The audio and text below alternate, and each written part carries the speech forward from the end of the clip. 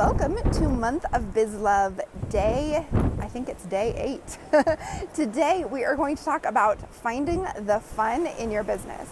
Welcome to Month of Biz Love. I'm Tara Swiger. I help makers and artists feel awesome about their business, and one of the ways I do that is through this 30 day challenge to fall more in love with your handmade business. So the month of Biz Love has three parts. The first part is the workbook that you can find at taraswiger.com slash month of biz love. It is going to help you answer these individual challenges. I've put the challenges there, and I've given you um, ideas of what you could post on Instagram to take part in the challenge as a community. So the second part of the challenge is on Instagram. I post a challenge each day, and you post your answer. Use the hashtag month of bizlove that way, your photos will show up with all the others in the challenges, and you can click through on that hashtag and get to know more people uh, and what they're sharing for their month of biz love. And then the third part is this daily video lessons from May 25th to June 24th. We're doing 30 days of video lessons on how to love your business more. So, what I want to talk to you about today is fun framing. And that is uh, a thing that uh, sociologists have studied where you take something that's not fun and you reframe it into something that is fun. And there are all these studies that show you are more likely to do something and it takes less willpower to do something you've reframed as fun. So I read that and I thought, oh my goodness, we can totally apply this to your business in a couple ways. The first way is this I want you to think about what is fun in your business now. Because here's the key you're going to be less it's going to take less willpower and you're going to be more motivated to work on something you find fun than things you don't find fun. That's obvious, right? That seems super obvious to me. And yet we forget. We go to our studio or our office and we start working and we forget about making it fun or finding the fun that's already there. So the first way to find the fun is ask yourself, what's already fun in my business? What do I enjoy doing and do I find fun? make a list of it. And again, this question's in your workbook. You can write it down there. And the workbook's at taraswiger.com slash month of bizlove, along with links to everything else you need, like Instagram and YouTube. So what do I you find fun in your business right now? The second thing is to reframe the unfun stuff because let's face it, you have to do unfun stuff too. Even when you're fully self employed and you're your only boss, you still have to do the stuff that's not that much fun.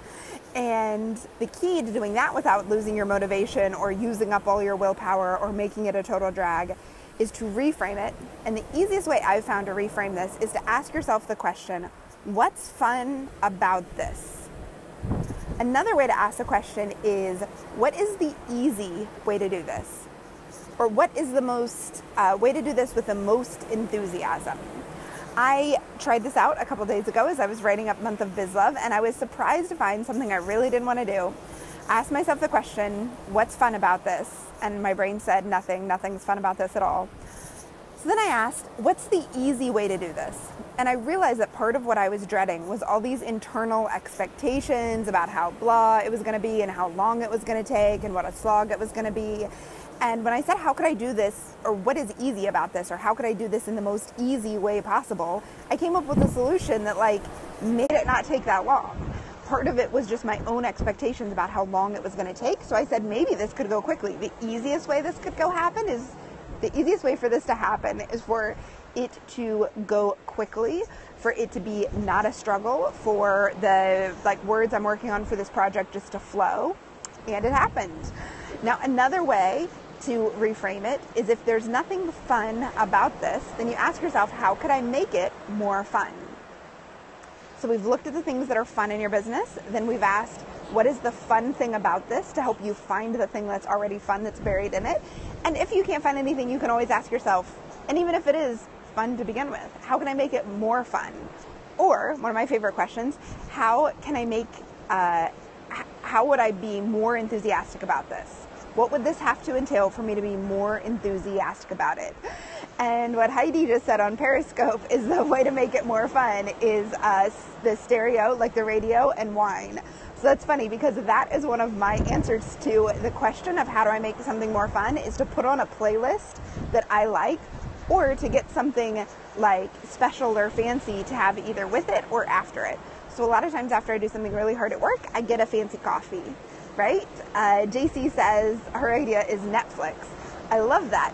If you're doing the kind of work that you can Netflix during. So if I have to do like um, packing up a lot of books or uh, taping a lot of shipping labels down. I don't know why, but that's something I always dread and put off. Exactly. I Netflix something like uh, Gilmore Girls or Friends or um, Empire or Scandal, so that it's so that I'm like fully engaged in something else.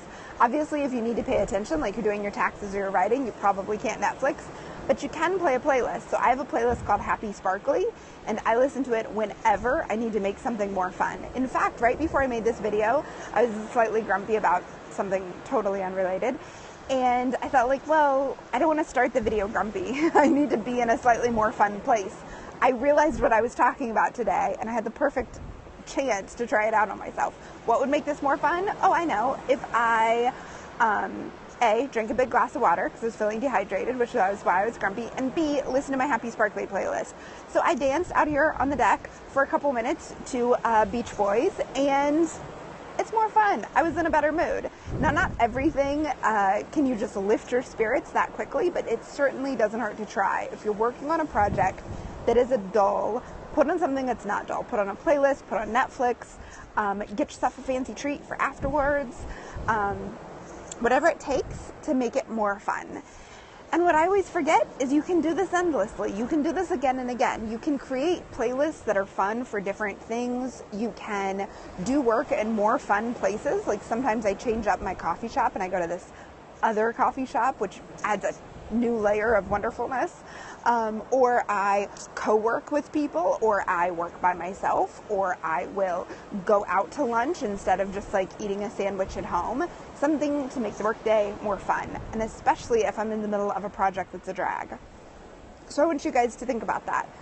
First, what's already fun in your business, and get excited about the things that are fun in your business. Recognize that they're fun when you're doing them. Once your hobby becomes your job, it's really easy for it to totally not be fun anymore. I get that. I did that with my handmade yarn company. But if you do still enjoy doing what you're doing, recognize that. And then look for what's fun embedded in what you're working on at every turn. Fun or enthusiastic or exciting or just um, easy. And then also if something does not have fun embedded in it, ask yourself, how can I make this more fun? Another question for you. Sometimes you're not in the mood to have fun. Sometimes I feel like fun is kind of exhausting. So instead, I ask myself, how can I make this more easy? What is the way to do this that's easy as opposed to hard? And there's not always like, there's no way to make it completely easy, but a lot of times there's ways to make it easier or less stressful or a little more peaceful. So that is your challenge for today.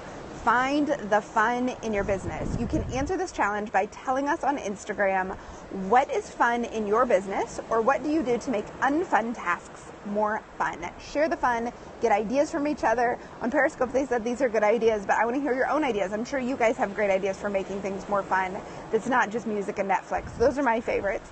You guys tell me what your favorites are. Use the hashtag month of bizlove on Instagram. I'll be watching and hearting and being very excited to get your fun ideas. So thank you so much and have a very fun, enthusiastic, loving day.